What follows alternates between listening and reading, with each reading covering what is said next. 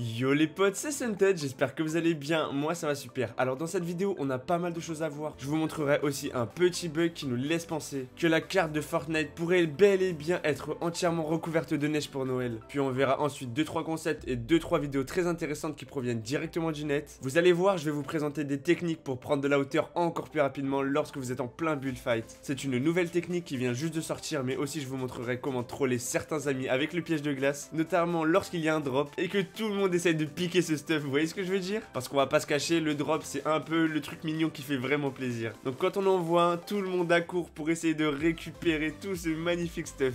Enfin bon, vous allez voir aujourd'hui le menu est assez chargé donc je vous propose de vous installer tranquillement les potes. C'est le chef Sunted qui vous régale, il va y avoir du salé, du sucré, du croustillant, bref. Croyez-moi, vous allez repartir blindé de news comme jamais. Pour ceux qui viennent de découvrir la chaîne, je me présente, moi c'est Sunted, je vous fais des vidéos d'information tous les jours, mais également des lives avec les abonnés. D'ailleurs, hier on a passé la barre des 50 000 abonnés et on fêtera ça ensemble cette semaine les potes, donc restez à l'affût. Je vous invite à vous abonner et à activer les notifications. Une fois de plus, n'hésitez pas à bombarder la barre des likes on vise les 3000 pouces bleus comme d'habitude. Donc allez-y franchement, bombardez-moi la barre des pouces bleus, il faut littéralement la casser en deux, n'ayez pas de pitié avec elle. Et pour cet après-midi, je vous propose de me retrouver directement en live pour faire des games ensemble comme d'habitude. Donc allez, c'est parti, on peut commencer. Donc tout d'abord, je voulais vous parler très rapidement du skin Calamité, mais aussi du skin Lican. Et vous montrer cette petite capture d'écran qui nous vient tout droit de la FAQ de Fortnite et qui nous explique qu'il sera possible de continuer à débloquer les customisations du skin Calamité et Lican même une fois que la saison sera terminée. À condition bien évidemment d'avoir préalablement débloqué ce skin dans la saison 6, sinon c'est trop cheaté les potos. C'est comme si moi, en pleine saison 6, je me demandais si je pouvais encore débloquer le skin chevalier noir, vous voyez ce que je veux dire? Donc en gros c'est un peu comme le principe du nomade et de de la saison précédente. N'oubliez pas que votre objectif principal est d'arriver au palier 100, ensuite vous aurez tout le temps nécessaire pour obtenir l'XP et continuer de faire évoluer ces skins. Voilà, c'était juste une petite parenthèse mais je préférais vous le dire avant d'oublier. En parlant des skins, ça me permet d'enchaîner directement sur cette nouvelle accessoire de dos, vous savez le portail spectral. En effet, celui-ci peut être débloqué en complétant des défis si vous possédez le skin School Trooper. Eh bien, je ne sais pas si vous avez eu le temps de faire tous les défis ou pas, ou peut-être même que vous ne possédez même pas le skin School Trooper comme moi. Donc, je vais vous montrer une petite vidéo qui met en avant le fait que cet accessoire de dos évolue au fur et à mesure que le joueur réalise des kills. Donc, comme je le disais, c'est un peu comme la pioche de Terreur Sombre et celle de Terreur Fluo, sachant que moi j'ai déjà celle de Terreur Sombre. Allez, c'est parti, regardons ça ensemble.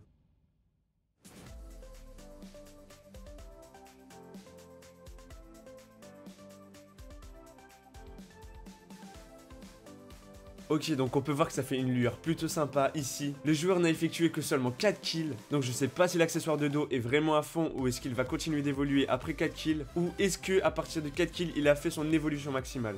Rien n'est moins sûr. Quoi qu'il en soit, comme toujours, le concept, je le trouve vraiment super stylé. Et c'est vrai que pour le moment, on n'avait pas d'accessoire de dos aussi stylé. Et surtout qui s'adaptait en fonction des parties qu'on fait, entre guillemets. Donc dites-moi votre avis dans les commentaires, mais au final, avec d'autres skins, ça pourrait être vraiment pas mal. En parlant de sac à dos et d'accessoires de dos, et eh bien je vous présente un petit concept qui nous vient tout droit de, attention, Reddit, oui, encore. Alors regardez bien, c'est un petit animal de compagnie qui serait customisable lui aussi et qui s'adaptera au type de personnage que l'on sélectionne. Donc par exemple, vous voyez, le petit accessoire sur la tête est, est exactement le même que celui du personnage. Vous imaginez si maintenant on peut carrément customiser les animaux de compagnie, franchement en y réfléchissant, ça n'a aucune limite la customisation. Et du coup, ça offre des possibilités mais juste énormes à Fortnite. Et vous voyez, quand je vois ça une fois de plus, je me dis que Fortnite n'est pas prêt de s'arrêter, il y a tellement de choses qu'ils peuvent rajouter ou même modifier. Croyez-moi, ils sont malins chez Fortnite. Ils nous l'ont déjà prouvé plusieurs fois et à mon avis, c'est pas prêt de s'arrêter. Allez, on va maintenant changer de sujet. Je vais vous parler d'une petite capture d'écran qui a été prise par un joueur hier soir. En effet, celui-ci a eu un petit bug graphique. Je sais pas si vous vous en souvenez, mais il y a quelques mois, il y a eu déjà ce type de bug. C'était vraiment similaire. Et c'est comme ça qu'on avait deviné que Fortnite allait nous rajouter un désert sur la carte. Et eh bien, cette fois-ci, je vous mets l'image. On voit carrément comme de la neige à certains endroits où il y aurait normalement un peu d'herbe. Alors là, ça nous fait carrément penser à Noël. Je pense que ça devrait arriver juste après l'événement d'Halloween. On se retrouverait avec une carte complètement enneigée, ça, ça serait vraiment stylé. Et là, si on pense à de la neige, on pourrait penser à quoi? Eh bien, moi, je vous dis tout simplement au skin Froid Éternel qui va faire son apparition très prochainement lui aussi. Donc franchement, il y a vraiment une corrélation entre ces deux éléments. Donc franchement, on reste à l'affût. À mon avis, ils vont pas mettre en place un pack qui s'appelle Froid Éternel pour rien. Alors même s'il y avait des théories là-dessus, cette fois-ci, on va carrément en avoir la preuve. Et ça, le détective Sunted, il adore ça. Donc l'enquête n'est pas terminée, je vais garder un œil dessus. Comptez sur moi les potos car j'aime bien résoudre les enquêtes. Donc ne vous inquiétez pas, je vous tiendrai informé. Et maintenant, on enchaîne avec un concept d'écran animé. Alors j'en avais déjà présenté il y a pas longtemps, et bien là c'est un nouvel écran avec un personnage au premier plan. Oui, car les écrans de chargement actuels sont sympas, mais c'est un petit peu statique. C'est-à-dire qu'il se passe pas vraiment grand chose. Même si ça dure pas très longtemps, et eh bien, lorsque vous faites des dizaines et des dizaines de parties, croyez-moi qu'au final cet écran de chargement, vous y passez pas mal de temps quand même.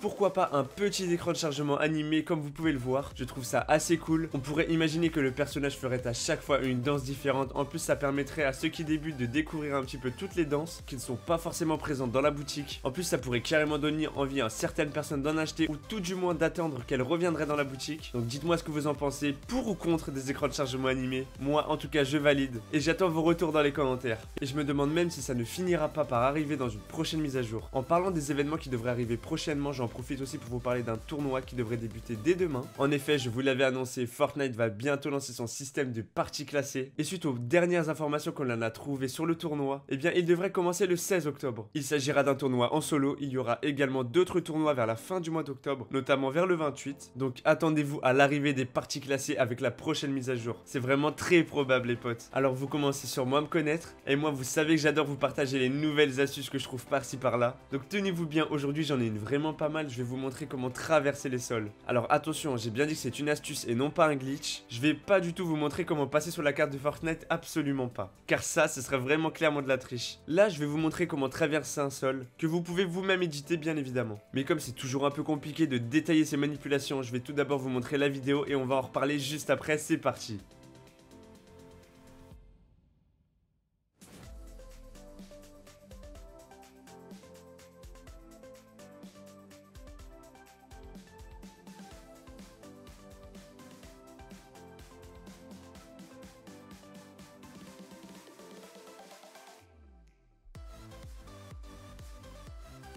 Voilà, donc pour faire simple, vous modifiez un sol, puis au moment de le réinitialiser, vous avancez, et bien là, vous pourrez traverser le sol. Alors, à première vue, ça semble pas très utile, mais imaginez maintenant que vous êtes poursuivi par plusieurs adversaires, ou simplement que vous êtes dans un énorme bullfight et que vous avez besoin de partir. Et bien, grâce à cette méthode, vous pouvez traverser le sol et directement refermer ce qu'il y a derrière vous. Et là, effectivement, ça devient beaucoup plus intéressant, car votre adversaire ne pourra pas vous suivre, il sera obligé de détruire la construction. Et si vous prenez l'habitude de le faire systématiquement, là, clairement, vous allez prendre beaucoup d'avance sur vos adversaires. Allez, ce n'est pas tout, j'ai d'autres vidéos bien sympas à vous montrer et on finira avec une technique pour prendre de la hauteur très rapidement lorsque vous êtes en bullfight. Et là, je suis certain que c'est une technique que vous ne connaissez pas car elle vient tout juste de sortir il y a seulement quelques heures. Mais avant ça, comme je vous le disais, je vais vous montrer une petite astuce pour troller vos amis. En effet, vous savez très bien que lorsqu'un drop est sur le point d'atterrir, tout le monde se précipite dessus. C'est encore plus le cas lorsqu'on fait des parties en 50 versus 50. Et eh bien, grâce à cette petite astuce Made in Sunted, fini les tracas de la vie quotidienne. Fini les bambis qui volent votre stuff sans prévenir. Fini les scars qui disparaissent avant même d'avoir touché le sol. Allez, je vous montre ça. C'est Sunted qui régale, c'est parti.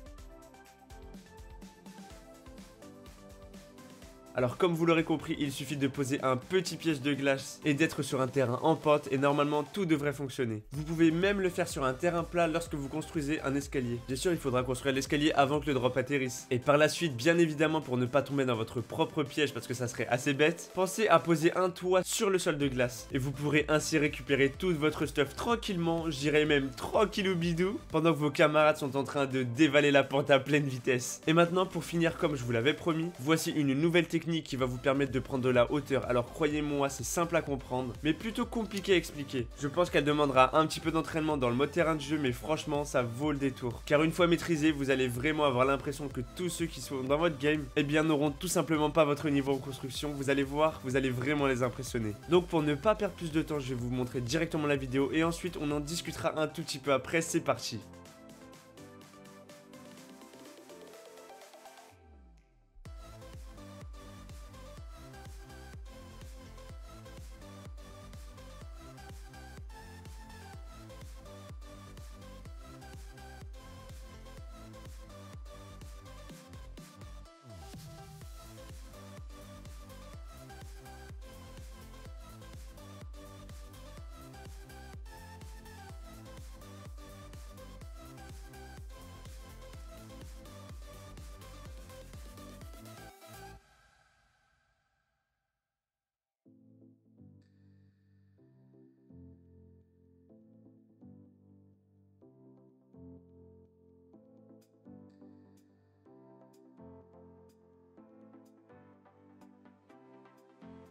Voilà, donc vous en pensez quoi les potes? Moi je dis heureusement qu'on a pu filmer ça en mode rediffusion avec le drone car sinon clairement on n'aurait pas compris grand chose. En fait le joueur pose un escalier puis un toit, au-dessus ensuite il fait un saut et bien c'est au moment où il est en plein air qu'il pose le sol, qui l'empêche tout simplement de redescendre. Bon clairement si vous n'avez pas compris n'hésitez pas à revoir la vidéo, ou plutôt ce petit extrait, mais une fois qu'on maîtrise vraiment bien la technique clairement on peut faire des choses vraiment sympas. Voilà les potes j'espère donc que cette vidéo vous a plu, il y a beaucoup de choses à voir aujourd'hui cet après-midi, n'hésitez pas à me retrouver en live comme je vous disais en introduction, le concours pour les 50 000 abonnés arrive prochainement, je suis en train de travailler dessus et sur de nombreuses autres choses. Donc j'essaie de faire en sorte que ça s'organise le mieux possible, je vous invite également à partager la vidéo à tous vos amis, votre famille, vos potes, la dame de la cantine, le chauffeur du bus. Quand je dis vraiment tout le monde, c'est tout le monde. Pensez aussi à bombarder cette barre de pouces bleus. Comme je vous l'ai dit, l'objectif est de 3000 likes, je sais qu'on en est capable. Pour voir les vrais qui sont restés jusqu'à la fin de la vidéo, lâchez-moi le hashtag GoTo100k. Et oui, ça y est, on vise directement les 100 000 abonnés les potes, franchement, je n'y aurais jamais pensé. Mais on l'a fait, ça y est, on a dépassé les 50 000 et donc prochainement, le palier énorme qui nous attend, c'est les 100 000. Si vous avez envie de partager votre game, n'hésitez pas à me l'envoyer à sunted.com, suntetted.com. Moi, je vous dis encore un grand merci, je suis impatient de vous retrouver dans une prochaine vidéo ou dans un prochain live. Passez une excellente journée, ciao